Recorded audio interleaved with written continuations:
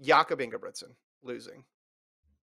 Do you think ultimately that matters or doesn't? Like on, on all these, I just want to know: Do you think it matters towards the outdoor season, or is it just a brief moment in time that happened, and we'll look back on it as all right, that was an interesting result, but it didn't ultimately influence the season. So I got a couple of them here that I wanted to ask you about. So one of them is uh, Jakob losing to Tefera. Do you think that matters in the long run or doesn't matter?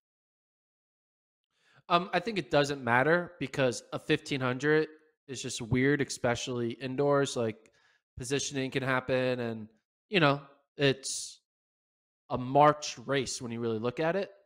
But it does matter, as Josh Kerr mentioned, to the competition because now Jakob's going to be pissed, right? And now he's mm-hmm. he's not going to let this happen again.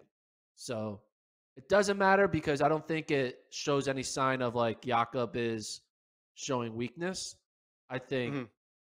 Jakob is just showing, hey, he, he wasn't planning on going undefeated for four years in a row. Like that just doesn't happen. Um, mm-hmm. I look at more of as just a blip than a, a trend. So it doesn't matter.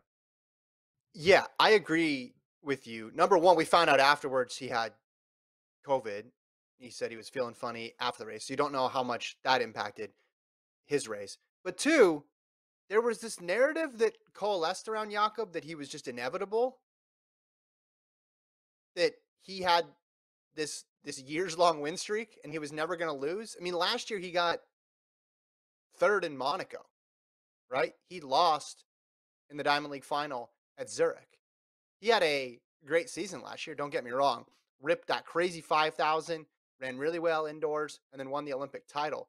But the idea that he was just winning, you know, have had this huge win streak was just, I think, us projecting what we thought he would be like in the future. So I think from that perspective,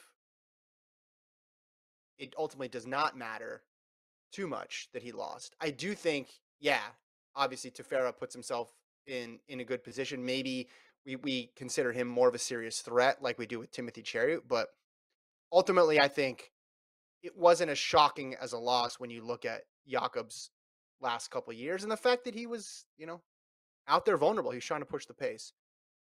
All right, let's go to another one here.